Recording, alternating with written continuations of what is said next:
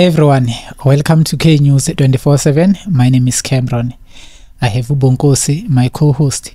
We are discussing everything that is happening at Naturena. Umnandi mngana? angimnandi mnandi mfethu wena hayi sweet. Uh, we have something to talk about. It's worrying, mfethu it's a worrying factor. As now the season is coming to an end in June, uh, we are expecting to see i-kaizer Chiefs announcing uh, this player usiyethemba Sithebe ukuthi kwenzakalani ngefuture yakhe at Naturena and also players like Ulihlohonolo Matlo who played just few matches and then yafiki injury. So we are waiting eh ku Kaizer Chiefs because previously they have announced ukuthi eh ba banike ulento lenkosi ngiphile ngqobo uBruce Bruce Vuma no Peterson ama ama contract extension. So now uh, we are waiting to hear something from Usithebe but before we get there iKaizer Chiefs announce mnganami uthini ngosithebe mfethu? Because it's it's been a while singamboni in the field. I i, think wagcina nokudlala. Eh udlalile under unseki? Yeah Maybe once or twice. wadlala against i-sundowns.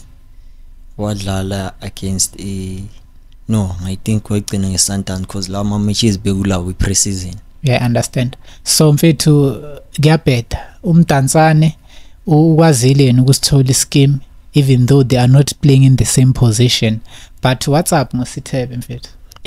Sanibonani sanibonani soccer lovers um mfethu isithebe you know ukuthi ukufika kwakhe neturena mfethu izinto azikamambili ngale ndlela le bekafisa ngayo because nama-injuries now baloku amhlela entameni. So as you can see ukuthi eish sometimes ama-injuries abuye ku-injury sitsho ukuthi iskimu uzosibamba but i-competition is very high laphayana ku-middle field. That's why ubona ukuthi manje it seems like it is difficult because ne-contract extension kuzoba nzima ukuthi ayithole because you know ukuthi eish eh ama-players now currently lapha ku-middle field is very difficult ukuthi ucoach awabhentshe for ama-players afana nabo Sithebe as you know ukuthi uSithebe wafika eNaturena bamdlalisa off position bamenza i-DM instead of i-attacking midfielder leya samsign ayiyo. So yinto eyambulala leyo cause manje there were rumors ukuthi ngazathi i-Golden Arrows izishaye ngayo but lokho kuyobonakala makuphela isizini. Hey ndoda but uh, it will help uh, to Usithebe to to to regain his confidence if he can go to clubs like Abo Golden Arrows. Because eNaturena let's be honest eh njengoba usho off position which is a central defensive midfield. Thina besimazi adlala eh, as an offensive player. I think kumaZulu ne? If i'm not mistaken. Yeah. so lapha kuleya position leya i-central defensive midfield. Sekuno kunalento le kunobani umthetho eh kuno Edson Castillo competition is too tight. Looking at all these two players like noma wafaka ucimezile anyone will give you a good performance between the two. So these two are top players. And we also have abo Samkelo Zwane nayo Samkelo Zwane eh, bebathi central defensive midfield but it looks like ngathi yamhama le position umfana bagcina bamlahlela ku number 8 acompete nomathi so hey mfethu ku- ku ku tight. Noma simisa phambili ayodlala as an attacking kunomdansane eh kunonkosinciphile ngcobo eh kunokhike ntuli. Iwomfana ku tight. Eh i think no nomfundo vilakazi can play in that position nomduduzi shabalala can play in the same position. So chances are too slim ukuthi abantu abafana nosithebe they can get i, i game time. I, i don't think so. I think it's njengoba nje i-golden arrows ikokota he must take this off. Ya vele avula am- am- iminyango vele ukuthi bamthathe cause manje eh, uyogcina manje ithalente lakhe liba wasted cause manje we know ukuthi he's a good player but manje the way izinto zingakhona natural azimambile kahle. So mara kungenzeka ngale game yangayi-30 march ukuthi asithole ischeme cause umarto suspended nocastillo suspended eh sobona ukuthi uKevin Johnson uzo-introduce abani i- in the field?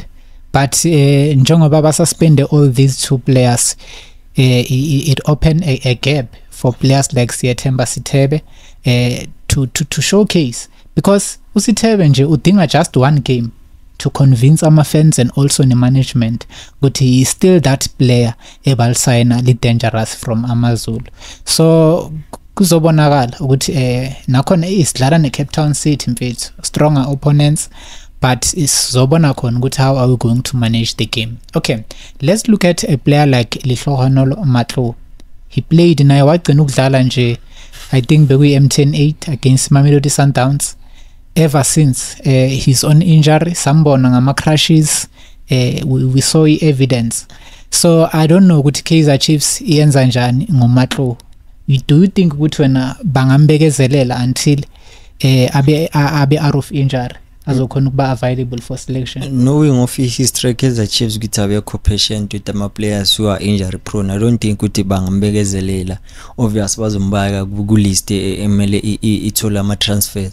Because as you can see ukuthi he uhleza injured and maka injury free we can see ukuthi okay this is matlo into angasigayo yona going forward as a player. But manje ama injuries mfethu ahlezi ambeke enkingeni because manje ugcina manje singasaboni ukuthi kahle kahle uya perform ora ka perform because under Mulefinsek we saw ukuthi no he does play for the bench and makadlala uyazimisela. But manje ama injuries mfethu ngazadiwa ambuyisele emuva. So as a history Kaizer Chiefs know ukuthi abanayo leyo patience enough. Because we could have done that with Dunakovic but we didn't. So no matlo naye so far akasigayi ngisho nama assist i don't think they will see nangu Billiard mfethu. Sambekezelela uBilliard samfaka chuka ninini. Walasta only few minutes in the field. Like I think Umatlo must be given a chance because I see a, a quality attacking midfielder. He's he's the player that we need, especially lapha ku attacking. But it will depend on his injury ukuthi uh, it's a it's, it's it's it's a bad injury kangakanani. ya ubuye ukhumbule phela ukuthi u-injured mfethu it's all uh, ubilliard it was all about ukuthi status because they knew ukuthi okay ubuya kumamelodi sundowns and they know ukuthi makathola i-game time obvious yiziphi zezinto esijwayele ukuthi angazenza but iprofile kaMatlo ayikho that well decorated ngaleyo ndlela because thina simkena nje ukuthi udlale ePortugal wabuya wazodlala kuSwallows wadlala nakuVet but manje uBilliard mfethu yazi ukuthi ubuya kuSundowns he formed a deadly trio with abo Doli no no no no Castro and bawina iSuper Cup baphinde bawina neChampions League. So into is different because uBilliard yena kulolo ukuthi bambekezelele but kuma Matlo is very difficult because akanayo lento leyo ukuthi banike ukuthi azini ithemba ithi silibeke kulomuntu eh yeah kona it's a it's a tricky one but sobona khona eh let's wait and see. Eh masibheke imatch ezayo against iCape Town City for the DStv Premiership on the 30th of this month and see ukuthi usithebe uyasibamba na? For umatlo i don't know. Solinda nakhona ukuthi basinike that feedback ukuthi uh, how far with his injury? But let's hope ukuthi nje uh, a recover faster.